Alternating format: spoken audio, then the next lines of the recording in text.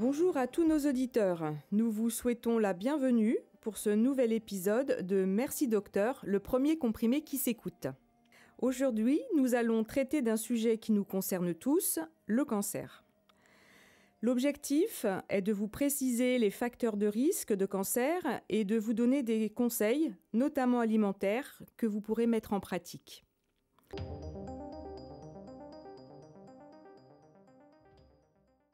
Bonjour, docteur Bérébi. Bonjour Clara. Vous allez nous parler aujourd'hui du cancer d'une façon générale, puis dans la deuxième partie de cette émission, euh, nous traiterons plus particulièrement du cancer du côlon et du rectum, car bien qu'interniste, vous êtes avant tout gastroentérologue et hépatologue. Est-ce que vous pouvez nous expliquer brièvement ce qu'est le cancer? Un cancer, c'est une tumeur maligne, c'est-à-dire que il va y avoir à un moment donné dans l'organisme quelque chose qui va se dérégler. Le processus normal, c'est une fabrication de cellules qui est compensée par une dégradation de cellules dans l'organisme. Et ça, ça peut concerner n'importe quel organe. À partir du moment où cette régulation est déficiente, pour plein de raisons, à ce moment-là, les cellules vont proliférer et ça va aboutir à la formation de ce qu'on appelle une tumeur. Donc une tumeur, c'est une prolifération cellulaire qui peut toucher n'importe quel organe, bien évidemment. Alors, souvent, le cancer est précédé d'une tumeur bénigne, comme par exemple dans le cancer du côlon ou dans plus de 9 cas sur 10, le cancer va être précédé par un polype, ce qu'on appelle le polype, et qu'on peut enlever en coloscopie. Donc il y a une filiation entre tumeur bénigne et tumeur maligne, donc cancer, pour le, cancer du côlon ou du rectum. Je donne un autre exemple pour le sein. Certaines femmes vont avoir ce qu'on appelle un adénofibrome, qui est une tumeur bénigne du sein, et qui est en opposition avec la tumeur maligne, qui est donc le cancer du sein. Voilà, en gros, ce qui correspond à une tumeur bénigne et maligne et au cancer. J'ai l'impression qu'autour de nous, il y a de plus en plus de cas de cancer. Pouvez-vous nous dire ce qu'il en est exactement? Alors effectivement, en France, en 2018, je suis obligé de donner quelques chiffres, hein. c'est vrai que je ne veux pas vous assommer de chiffres, mais il faut quand même positionner le problème. Il y a eu 382 000 nouveaux cas de cancer, avec une légère prédominance chez l'homme.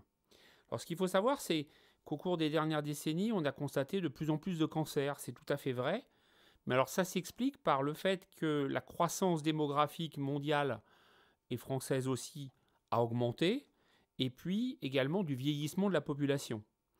Donc, in fine, c'est logique qu'il y ait plus de cancers, puisqu'il y a plus de monde, et les personnes vivent plus longtemps. Au niveau des cancers, si on veut être un peu plus précis, il y a le cancer de la prostate qui est le plus fréquent chez l'homme. Chez la femme, c'est le cancer du sein. Et puis ensuite, ce sont les cancers colorectaux, donc du côlon et du rectum, qui euh, sont les plus fréquents. Le nombre de cas augmente aussi, en plus de ces deux paramètres-là, parce que le dépistage et le diagnostic se fait de plus en plus. C'est-à-dire les techniques d'imagerie progressent, échographie, mammographie pour le cancer du sein par exemple, le dépistage du cancer du côlon se fait de plus en plus, et par conséquent, il est logique euh, de constater qu'on diagnostique de plus en plus de cancers. Donc, euh, le nombre de nouveaux cas, finalement, est paramétré par tous ces éléments-là. Donc, en définitive, euh, le nombre de nouveaux cas de cancer en France est maintenant stable, puisque les techniques de diagnostic sont tout à fait au point. Et il n'y a pas de progression du nombre de nouveaux cas au cours des dernières années. Mais en France, est-ce que le cancer est la première cause de mortalité? Oui, alors en France, le cancer, c'est effectivement la première cause de mortalité. En deuxième, ce sont les maladies cardiovasculaires, qui étaient en premier il y a quelques dizaines d'années, mais aujourd'hui, on soigne mieux l'hypertension artérielle, les pathologies coronaires, etc. Donc désormais, la mortalité cardiovasculaire est en deuxième position. Donc en France, c'est effectivement la première cause de mortalité. Chez l'homme, c'est en premier lieu le poumon, en deuxième position le côlon et en troisième position la prostate. Alors chez la femme, évidemment, on a en, première cause de mortalité le cancer du sein, en deuxième cause de mortalité le cancer du poumon et en troisième cause de mortalité le cancer du côlon.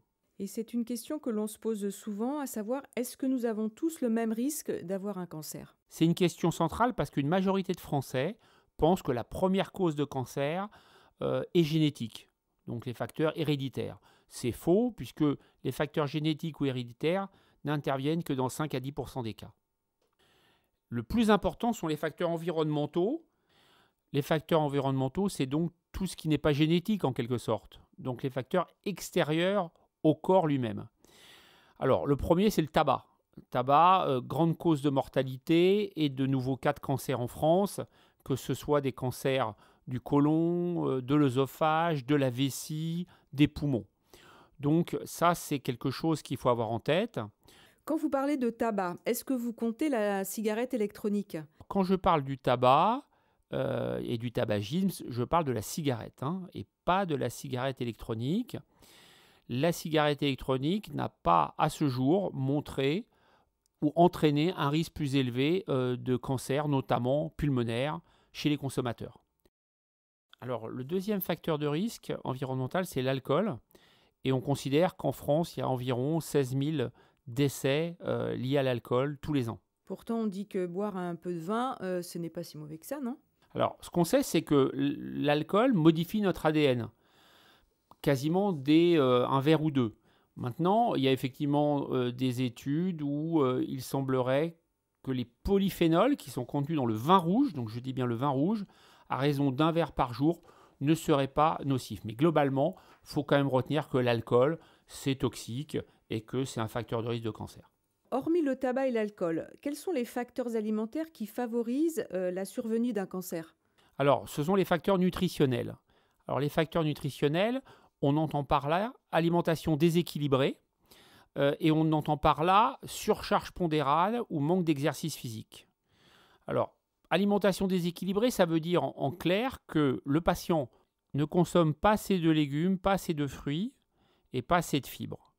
Et qu'il a au contraire une alimentation trop riche en viande rouge et en charcuterie. Voilà ce que c'est en gros une alimentation déséquilibrée.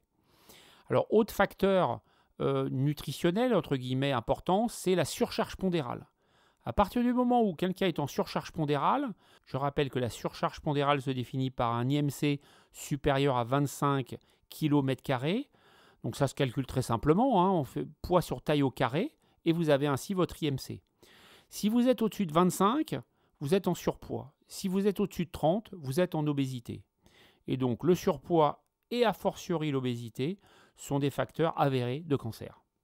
En ce qui concerne l'appareil digestif, on a observé que la surcharge pondérale ou l'obésité augmentait les cas de cancer de l'œsophage, du côlon et du rectum, du foie et du pancréas. Donc vous voyez, c'est pas rien.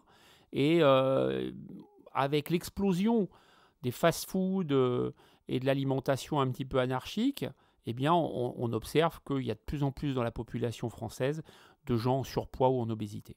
Et d'un point de vue plus général, y a-t-il des facteurs de cancer en dehors des facteurs alimentaires? Oui, c'est là où c'est euh, subtil. C'est-à-dire que un cancer ne se développe pas pour une raison unique. Il peut y avoir effectivement parfois des facteurs génétiques, mais des facteurs environnementaux. Alors ce n'est pas un, c'est pas un facteur environnemental qui va déclencher à lui seul le cancer. Il y a souvent plusieurs facteurs, d'où la complexité d'identifier effectivement précisément ces facteurs et de savoir comment les juguler. Alors, il y a d'autres facteurs que le tabac et l'alcool et que la surcharge pondérale. Il y a notamment la pollution de l'air. Elle peut être naturelle d'ailleurs par le pollen ou les éruptions volcaniques par exemple. Et puis il y a évidemment toute la pollution issue de l'activité humaine, notamment euh, euh, les industries, la, voiture, etc., etc. Deuxième facteur, euh, les bactéries ou les virus. Par exemple, le virus de l'hépatite B ou de l'hépatite C peuvent occasionner des cancers du foie. la bactérie Helicobacter pylori peut favoriser le cancer de l'estomac. Donc voilà d'autres facteurs qui s'additionnent aux facteurs dont j'ai parlé tout à l'heure. Le autre exemple, le soleil, qui augmente le, nombre euh, de cancers de la peau, en particulier de mélanome. La radioactivité, euh, tout le monde se rappelle, enfin tous ceux qui étaient euh, jeunes ou adultes à cette époque-là, Tchernobyl, l'explosion de la centrale nucléaire en Union soviétique, bah, il y a eu une explosion des cancers de la thyroïde à cette époque-là. Les champs électromagnétiques, alors ça c'est une vraie question avec les téléphones portables évidemment. Euh, il semblerait qu'il pourrait y avoir un risque. Euh, donc là, j'ai un langage très politique, mais ce risque n'est pas démontré d'une façon formelle, mais il pourrait y avoir un risque plus élevé de tumeur cérébrale à cause des champs électromagnétiques. Et puis, il y a les pesticides et les métaux lourds, évidemment, dont on parle beaucoup. Et d'ailleurs, la meilleure preuve, c'est que chez les agriculteurs euh, qui manient euh, les pesticides, eh bien, il y a un taux de, cancer qui est plus élevé que dans la population euh, qui n'est pas dans l'agriculture. Encore un autre facteur, si vous voulez, il y a l'acrylamide. C'est un composé volatile qui va être généré par les cuissons à haute température type barbecue. Ce composé est un facteur de cancer également. Et puis enfin, il y a les nanomatériaux qui sont ces particules ultra fines qu'on trouve dans la peinture, dans les cosmétiques, dans les crèmes solaires, dans certains médicaments ou dans le dentifrice par exemple, qui vont évidemment rentrer dans l'organisme et qui peuvent être également euh, une source et un facteur de risque de cancer, bien sûr conjugué avec d'autres, bien évidemment. En vous écoutant, on se rend compte que vraiment il y a beaucoup, beaucoup de facteurs extérieurs. On a vraiment l'impression qu'on ne pourra pas y échapper. C'est vrai que la liste est impressionnante, mais néanmoins, faut retenir qu'une courte majorité de Français n'aura pas de cancer au cours de sa vie. Donc, il ne faut pas se dire que voilà, on est et on va de toute façon avoir un cancer euh, euh, entre la naissance et, le décès, ou qu'on va décéder nécessairement de ça. Non, c'est faux.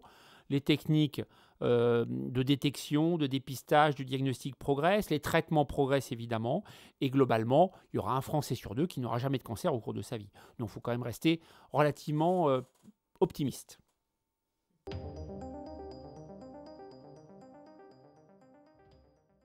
Et pour en revenir euh, à, l'alimentation, est-ce qu'il y a des aliments anti-cancer? Alors ça, c'est la, c'est la grande mode. Donc moi, j'ai rien contre les plantes. Certaines plantes, je les utilise euh, dans ma pratique quotidienne. L'amande poivrée dans les ballonnements au cours du syndrome de l'intestin irritable. J'en ai parlé lors d'un épisode précédent. Le psyllium, euh, donc, qui, que j'utilise beaucoup pour la constipation. Donc les plantes, quand elles marchent, moi, je suis totalement ouvert à la question. Ce qui se passe en pratique, c'est qu'aujourd'hui, il y a une espèce de, euh, de, business autour de la santé et que régulièrement, on voit des nouvelles plantes qui sont censées guérir le cancer, euh, traiter la dépression, etc. Je vais vous en donner trois exemples. Le curcuma, par exemple, qui est très à la mode. Eh ben, il n'y a aucune étude scientifique chez l'homme qui a montré une quelconque efficacité. Il y a la spiruline, très à la mode aussi. Le constat est le même. Et puis récemment, il y a eu la baie de goji. C'est euh, une, plante séchée qui vient de Chine. Et en fait, bah, ça a été vendu aussi comme étant un remède miracle, etc. etc. Et en fait, ça n'apporte strictement rien. On s'est même aperçu que la plupart de, ces baies séchées étaient contaminées avec un nombre très élevé de pesticides qui eux-mêmes euh, constituent un facteur de cancer.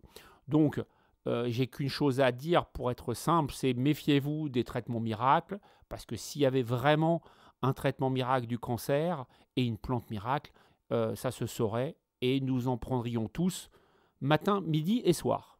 Et on entend beaucoup parler, euh, en ce moment c'est très très à la mode, du jeûne comme traitement du cancer. Est-ce que c'est une réalité ou pas? Ce qu'il faut comprendre tout d'abord, c'est que un patient qui a un cancer va chercher à tout prix à trouver une solution, évidemment. On aurait tous la même réaction, euh, une solution à son problème pour guérir. Alors il peut la chercher dans les euh, traitements classiques, mais des fois, bah, le traitement classique peut être pris à défaut et à ce moment-là, le patient tombe dans certains pièges. Alors on peut le comprendre, mais voilà, il faut quand même préciser les choses. Le jeûne, donc, c'est très à la mode. Il y a eu d'autres modes comme le régime sans viande ou le régime cétogène. Euh, et aucun de ces régimes n'a montré une quelconque efficacité. Au contraire, quand un patient a un cancer, ce qu'il faut savoir, c'est qu'il va être dénutri de par le cancer. Et si on veut le traiter comme il faut, il faut l'opérer, il faut potentiellement qu'il ait de la chimiothérapie, et pour ça, il doit avoir le plus de force possible pour pouvoir être soigné dans les meilleures conditions. S'il fait un jeûne, il va être dénutri, il va être fatigué, il ne pourra pas être traité. Donc en fait, non seulement le jeûne euh, ne sert à rien. Et le fantasme de dire euh, le patient mange plus, donc ça affame, entre guillemets, la cellule cancéreuse, c'est totalement faux. Non seulement ça ne soigne pas, mais en plus ça aggrave le cancer. Il y a eu un rapport d'expertise en 2017 sur ce sujet, parce que c'était un sujet qui était sensible, et la conclusion a été sans appel, il n'y a aucun intérêt à faire de régime de jeûne au cours du cancer. Donc ça, c'est vraiment très, très, très, très important ce que vous venez de nous dire. Alors, je peux vous donner un autre exemple, un petit peu de, de, de dérive, si je puis dire. Euh, vous connaissez bien, vous connaissez Steve Jobs? Oui, bien sûr. Bon, l'ex-grand patron d'Apple. Alors, Steve Jobs était bouddhiste. Euh, bouddhiste très pratiquant. Et donc, dans le, dans le bouddhisme qu'il pratiquait, hum, je ne veux pas froisser les bouddhistes ici, mais euh, lui, en ce qui le concerne, il voulait pas d'intrusion dans son corps, il voulait pas que l'on touche à son enveloppe corporelle. Donc quand il a eu un cancer du pancréas et qu'on lui a proposé de se faire opérer, il a refusé. Il s'est soigné par des plantes. Malheureusement, mais c'était prévisible, son cancer s'est aggravé. Au bout d'un certain nombre de mois, quand il a vu qu'il dépérissait, il a finalement accepté de se faire opérer. Il s'est fait opérer de son cancer du pancréas, en l'occurrence, et là, on s'est aperçu que son cancer était un cancer qui aurait été guérissable, parce qu'il avait un type particulier de cancer du pancréas, le seul guérissable d'ailleurs, et s'il avait été opéré au début, il aurait été guéri. Voilà un exemple de dérive de quelqu'un de célèbre, donc ça va parler à tout le monde. Donc voilà, il y a, des données scientifiques qui existent. En France, on a une médecine euh, de qualité, euh, les gens viennent du monde entier pour soigner. Donc ne tombez pas dans les pièges de, des, thérapies alternatives parce que la très grande majorité d'entre elles n'ont fait la preuve d'aucune efficacité.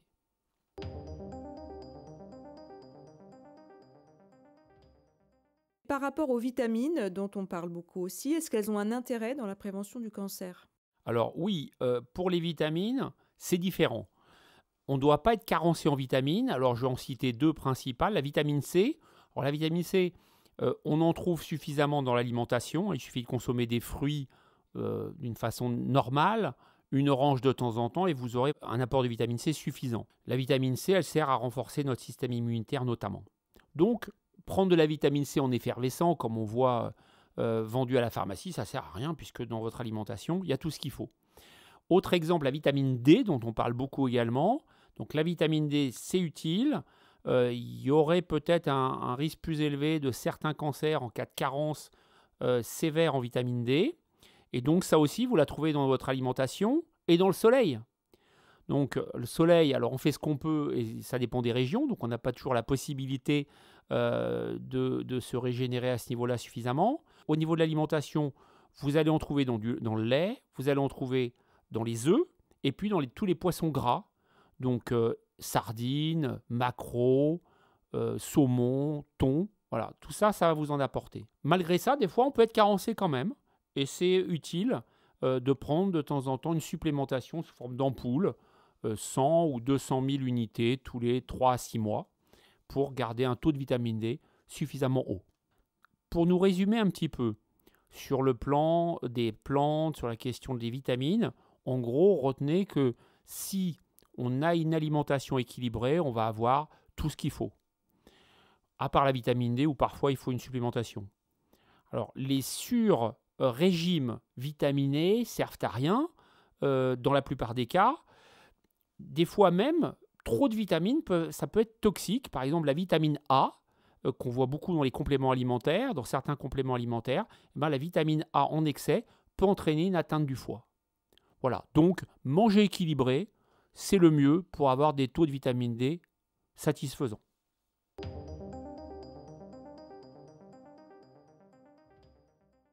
Maintenant, nous allons aborder la deuxième partie de cette émission consacrée au cancer et nous allons parler plus spécifiquement du cancer du côlon et du rectum qui sont très fréquents en France et dans le monde. En ce qui concerne le cancer du côlon et du rectum, est-ce qu'il y a un moyen de les prévenir? Oui, alors en effet, le cancer du côlon du rectum est un cancer extrêmement fréquent, je l'ai dit tout à l'heure. Je vais vous donner un nouveau chiffre un peu déprimant, mais il faut un petit peu imager quand même les choses et, préciser l'importance de, cette problématique-là. C'est 17 700 décès en France tous les ans. Et donc c'est un problème à ce titre-là de santé publique. Alors effectivement, il faut le dépister, parce que la particularité du cancer du côlon et du rectum, c'est que dans plus de 9 cas sur 10, ça commence par un polype. Donc c'est une grande, grande particularité du corps humain. Si on prend l'exemple du cancer du sein, par exemple, la patiente va avoir d'emblée un cancer du sein. Si un patient a un cancer de la prostate, il va avoir d'emblée un cancer de la prostate. Il ne pas précédé par une tumeur bénigne de la prostate. Même chose pour le poumon, etc. Le côlon, c'est différent. Dans 9 cas sur 10, ça commence par un polype. Et ce polype, on peut le retrouver à la coloscopie. Et en l'enlevant, on évite l'évolution vers le cancer. Donc c'est une grande particularité, d'où l'importance du dépistage. Alors ce dépistage va dépendre de la famille. Je m'explique. Si dans la famille, il n'y a aucun cas de cancer du côlon, à ce moment-là, il y a deux possibilités. Donc le test immunologique fécal qui est proposé par la sécurité sociale à raison d'un test tous les deux ans entre 50 et 74 ans. Ce test sert à rechercher du sang qui ne serait pas vu par le patient à l'œil nu. Et si c'est positif, à ce moment-là, on fait la coloscopie et on va retrouver, dans un nombre de cas important, un polype qu'on pourra enlever et ainsi éviter que le patient ne développe un cancer. Alors ce test immunologie fécale, vous pouvez le pratiquer auprès de votre médecin traitant. Et il est important de le faire parce qu'aujourd'hui, on sait qu'en France, on est en dessous des recommandations. Il faudrait qu'on obtienne 65% d'observance, c'est-à-dire de personnes participant au test. Et en fait, en France, on est entre 25 et 30%. Donc il faut dépister davantage de monde. Parfois, euh, mes patients me posent la question de savoir s'il y a une alternative à ce test, si ce test est, fiable à 100%. Alors évidemment, ce test n'est pas fiable à 100%, et si on veut quelque chose d'un peu plus pointu, on va dire, on peut faire une coloscopie tous les 10 ans. C'est d'ailleurs une recommandation de, la Société américaine de gastroentérologie. Donc voilà les deux alternatives. Si vous n'avez pas de risque euh, particulier, donc pas de cas dans votre famille, faites soit le test fécal, soit une coloscopie tous les 10 ans. Deuxième situation, les, personnes qui ont un cas de cancer dans leur famille, donc cancer au premier degré, ça veut dire euh, parents, donc père ou mère, et les collatéraux, frères ou sœurs.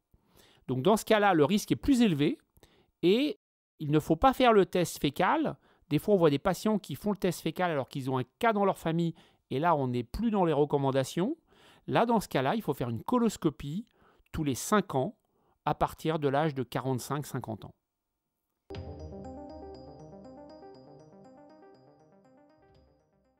Est-ce que vous pouvez nous préciser euh, quels sont les conseils de vie euh, et alimentaires qui sont recommandés en prévention du cancer du côlon et du rectum? Oui, tout à fait. Alors ces recommandations, elles sont très claires et puis elles sont vraiment bien documentées. Euh, et la référence, c'est l'Institut américain de recherche sur le cancer, l'AICR, qui publie régulièrement les recommandations. Première recommandation, ne pas être en surcharge pondérale, c'est-à-dire avoir un IMC inférieur à 25. Donc je vous rappelle, qui se calcule simplement poids sur taille au carré. Deuxième chose, faire de l'exercice physique. Ça, c'est également une mesure préventive du cancer du côlon. Donc ça veut dire bouger, ne pas être trop sédentaire, ne pas passer sa journée euh, sur un canapé ou dans un fauteuil, et puis faire de l'exercice physique, donc du sport à hauteur de ce que vous pouvez faire. Ça peut être euh, du vélo d'appartement, euh, du vélo dehors, ça peut être de la natation ou, ou n'importe quel autre sport, mais bouger, stimuler votre côlon et votre organisme. C'est utile en prévention du cancer du côlon. Il est démontré que l'exercice physique va réduire d'environ 20% le risque d'avoir un cancer du côlon. Donc c'est quand même extrêmement intéressant. Alors comment ça s'explique? Euh, Parce que c'est une question qu'on a souvent. Et eh ben en fait, il semblerait que les substances cancérogènes qu'on a dans l'alimentation, hein, vous savez quand on mange quelque chose, ça va être dégradé et il y a certaines substances qui vont être en contact du coup avec euh, les cellules internes du côlon, eh bien, ce contact va être réduit puisque le côlon va être stimulé et donc le transit va être de meilleure qualité. Et c'est cette diminution du temps de contact qui expliquerait euh, la réduction de ce risque. Troisième recommandation en prévention du cancer du côlon, c'est avoir un apport suffisant de fibres. Donc il faut avoir 25 grammes par jour de fibres comme apport. Donc les fibres, ça veut dire quoi? Eh bien, vous allez trouver ça dans toutes les céréales complètes. Euh, blé, maïs, riz, orge, seigle. Donc dans le blé complet, dans euh, le seigle complet, le riz sauvage, le boulgour, le quinoa, qui en plus est, riche en, protéines. Donc ça, ça va vous apporter suffisamment de fibres. Donc ça, c'est extrêmement important. Et vous allez en trouver également dans les légumineuses ou les légumes secs, comme les lentilles ou les pois chiches, par exemple. Pourquoi c'est si important de consommer des fibres? Comment est-ce qu'elles agissent? Alors, les fibres, elles ne sont pas digérées dans l'intestin grêle. Elles vont arriver entière euh, dans le côlon. Et là, le microbiote intestinal, hein, vous savez, le grand patron du corps humain, comme je l'appelle, eh ben, euh, le microbiote va agir à ce moment-là. Alors, les fibres, elles ont une action mécanique parce qu'elles vont diluer les substances cancérogènes qui vont être en contact avec le côlon. Donc, première, première premier mécanisme possible. Deuxième mécanisme, il va y avoir au niveau du côlon une fermentation des fibres qui vont fabriquer, qui vont aboutir à la fabrication de substances anticancérogènes qu'on appelle acides gras à chaîne courte, qui vont donc avoir un effet très intéressant. Et c'est comme ça que les fibres agissent et c'est comme ça qu'elles ont un effet préventif sur le cancer du côlon.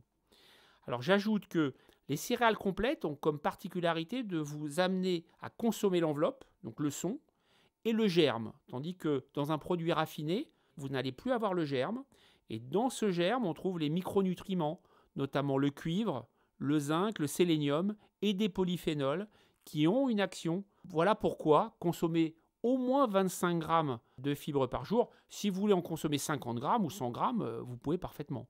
Pourquoi c'est si important? Il faut aussi dans l'alimentation, pour prévenir le cancer du côlon, consommer suffisamment de fruits. Donc au moins 300 grammes par jour, donc c'est pas rien.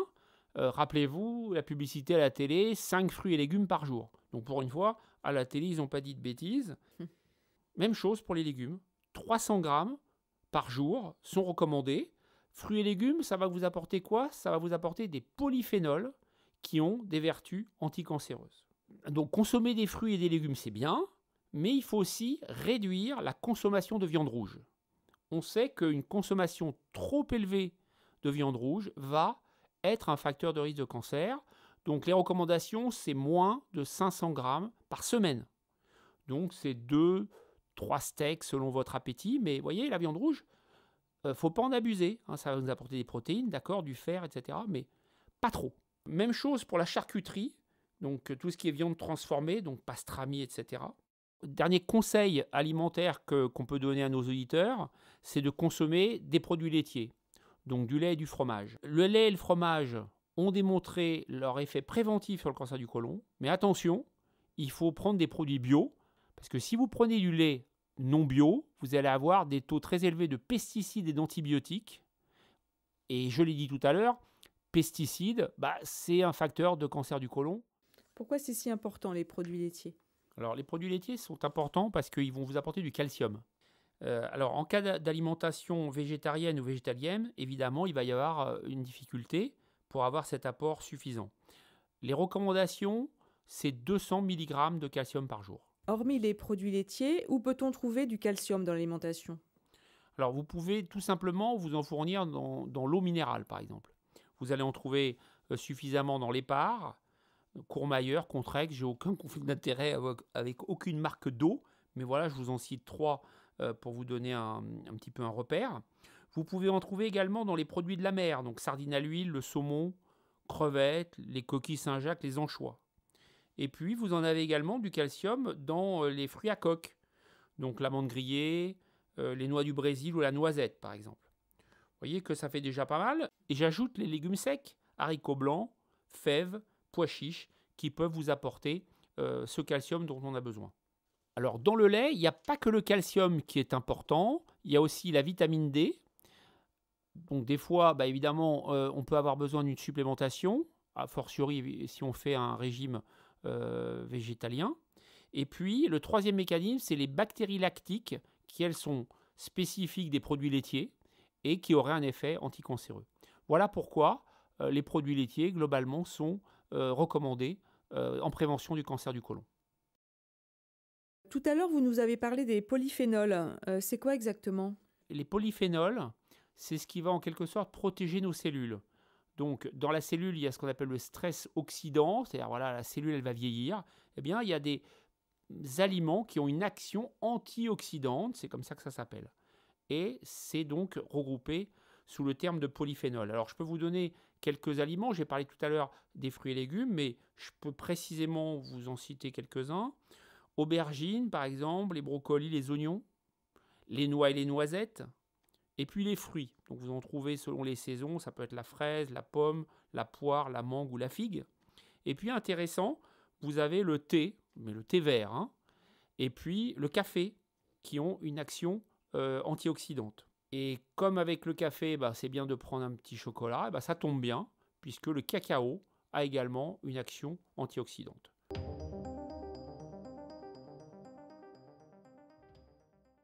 Je retiens l'importance d'une alimentation équilibrée, des fruits, des légumes, peu de viande, pas trop de charcuterie. Euh, est-ce que vous pouvez nous dire ce que vous pensez de l'alimentation industrielle? Quand on parle de, l'alimentation industrielle, on parle d'aliments ultra transformés. Alors, les aliments ultra transformés bah, sont responsables d'une grande partie de l'obésité euh, qui existe dans nos pays euh, industrialisés. Et donc, on sait que l'obésité, je l'ai dit tout à l'heure et je le redis, est un facteur très important de cancer. Alors, ça ne se résume pas, euh, les aliments ultra transformés, aux frites ou à d'autres choses surgelées. par exemple, les steaks végétaux euh, que vous consommez euh, parce que c'est pas de la viande, etc., sont des aliments ultra transformés. Donc réellement, dans le supermarché, vous allez trouver plus de 80% de produits euh, qui sont des aliments ultra transformés. Dedans, vous avez trop de sel, vous avez des additifs, des émulsifiants, des colorants, etc. Tout ça, évidemment, c'est pas bon pour préserver notre organisme. Ce, ce sont des facteurs de cancer et du cancer du côlon et du rectum en particulier. Donc vraiment, euh, ce que je vous conseille, c'est d'avoir une alimentation la plus saine possible, d'aller euh, chez le maraîcher, de prendre des produits frais. Et les recommandations, parce qu'il y en a sur les aliments ultra transformés, c'est de ne pas dépasser plus de 15% de votre apport calorique journalier. Le printemps approche, on aime bien faire un barbecue. Il paraît que ce serait cancérigène, notamment selon le mode de cuisson euh, qu'on utilise. Est-ce que vous pouvez nous dire un mot là-dessus? C'est vrai que tous les modes de cuisson haute température, notamment les barbecues, euh, vont aboutir à la fabrication d'agents cancérogènes. Donc ça, c'est exact. Donc il faut pas en consommer trop et puis utiliser plutôt un barbecue électrique qu'un barbecue au charbon de bois. Ça, c'est un premier conseil. Et puis d'autre part, parallèlement à ça, il ne faut pas consommer trop de fritures parce que quand vous consommez des fritures, il y a des produits carbonisés parfois, et ça aussi, ce sont des substances cancérogènes. Alors, il y a une petite technique pour la friture, c'est d'utiliser de l'huile de coco euh, qui a une particularité, c'est d'être très stable à haute température. Donc ça va réduire euh, la fabrication d'acrylamide, hein, qui est cette fameuse substance qui a un effet cancérogène en cas de friture. Nous allons maintenant passer à la question de notre auditeur.